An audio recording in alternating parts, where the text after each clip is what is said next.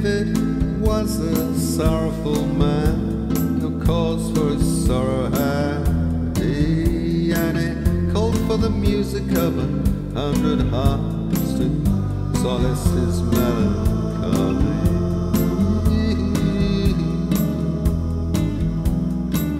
He played till they all felt silent, played and played, sweet did they.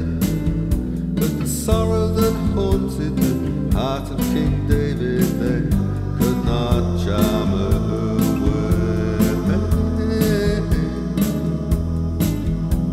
He rose and in his garden walked by the moon alone.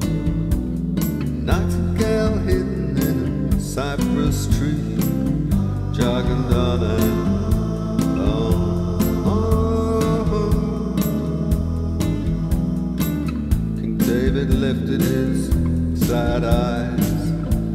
into the dark boughed tree.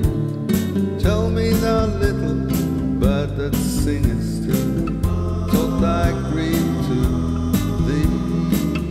But the bird in no wise heeded, and the king in the cool of the moon harkened to the nightingale's sorrowful nest till all his own was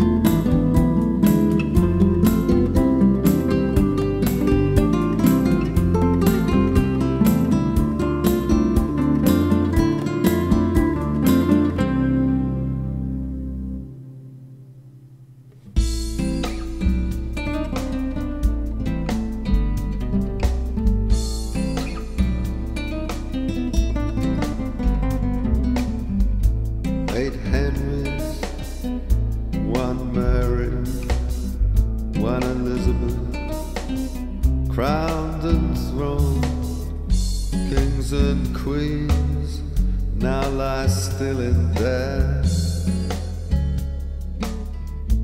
Four Williams, one Steve, and Victoria John. Scepter and Orban laid aside, quiet gone, and James and Charles, Charles's sons, they too have journeyed on. Three Richards, seven Edwards, their royal out did thrive. They sleep with Georges, one to four, and we